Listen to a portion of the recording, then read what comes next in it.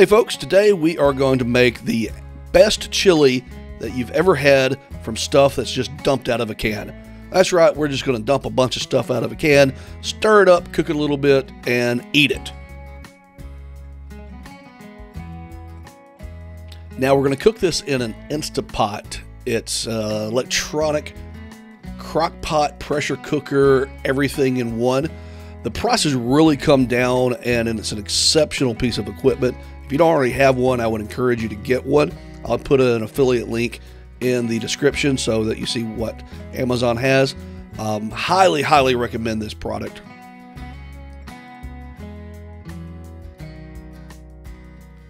Here's a look at the ingredients we're going to need. Nothing complicated here. Chances are you have most, if not everything, already in your pantry.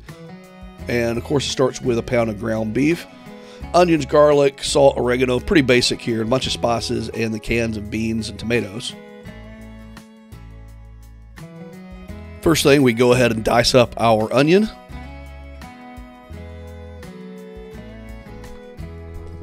As for the origins of chili, I am really going to upset some Texans here. So, chili is synonymous with Texas or chili con carne, or chili with beef uh, or meat, and they uh, really hate beans in it for some reason. I don't know why. But check this out. In the writings of the Franciscan friar Bernardino de Sahugun, S A H U G U N, described a chili pepper seasoned stew being consumed in the Aztec capital in 1529. Those are the Aztecs. Chili pepper, or chili, we consume it as uh, chili powder now, but originally it was actual chilies, which are native to uh, Central America. Chili peppered seasoned stew does not not sound like chili. Does to me. Described in 1529. Sorry, Texans, you did not invent it. The Aztecs did. May have modified it, may have made it better, but it is definitely an Aztec food. Sorry about that. Now that I've lost all of our Texan subscribers, let's get back to our chili or how we chop onions. Notice how we're just dicing these. If you're new to cooking, I cannot emphasize this enough. Notice how my left hand fingers are curled back and it, the knife just glides down my knuckles. That's so our tips, the tips of our fingers, are never in a position to get cut. If you just stick your fingers out, you're inevitably going to cut your finger, tip it. It's uh, it'll happen. So learn some good techniques and never give yourself an opportunity to cut your fingers. Next, we're going to prepare our garlic. So uh, just break off some garlic from the clove. You can use a knife, a board scraper, spoon, but just hit it with the palm of your hand and then just peel that paper stuff off.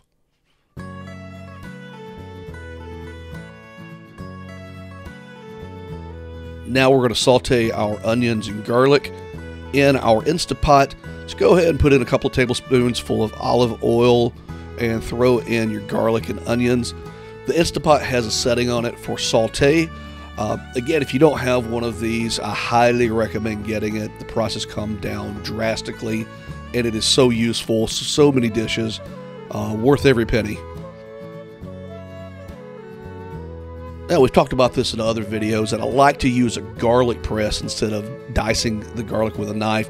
I can never dice it fine enough, and running it through a garlic press, it not only dices it, it crushes the garlic and releases a lot more of the garlic oils. I feel like you get a lot more flavor out of the diced garlic than you could ever do for something that's just diced up. They're really cheap. I bought this one at IKEA for maybe five bucks. So if you don't have one, definitely get you one. So, good piece of equipment to have.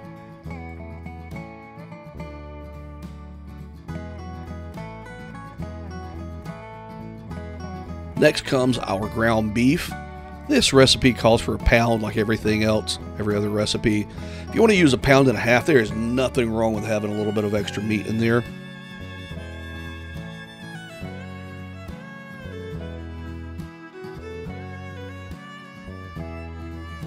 Next, we're going to dump everything in from a can. So that's a can of diced tomatoes, We're going to put in two cups of chicken broth.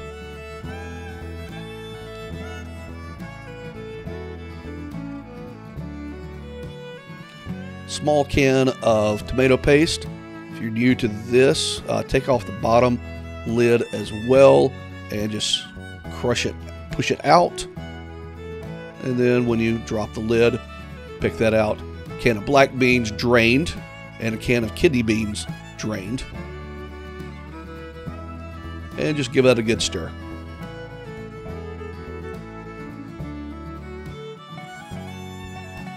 Now we're going to add some spices. Let's grind in some fresh ground pepper. Please always grind your pepper. It releases a lot of the oils that have evaporated if you use the pre-ground stuff. Much better flavor. Next we're going to add two tablespoons of chili powder, and then we're going to add a tablespoons of cumin, a tablespoon of oregano. Fresh would be nice if you had it. And then we're going to add a tablespoon, I'm sorry, two tablespoons of paprika.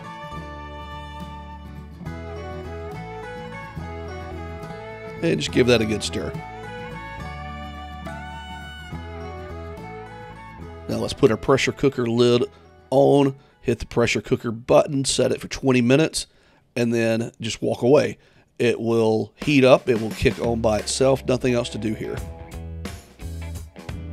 After the 20 minutes, go ahead and release the steam. Hit that valve with a knife or spoon. Not your finger because that is live steam and it will burn you. 20 minutes in the pressure cooker is equivalent to about an hour of simmering while that's cooling down, let's go ahead and slice up some bread. I'm using a sourdough bread in some very large chunks. Even though we talked about this is not a, technically a Texas dish, it's synonymous with Texas. So using some big chunks of bread here, that just seems appropriate. And we're going to spoon it out. And finally, we get to eat it. I'm going to top it off with some sour cream, some freshly grated cheddar cheese, uh, this recipe is super simple to make, very, very basic ingredients. I hope you guys will try it. If you uh, like it, please hit like and subscribe to our channel. It really helps us out. And uh, Texans, sorry about uh, the history there, but we love you anyway. And besides, you made Tex Mex, so that's awesome. So congrats. Thanks, everybody.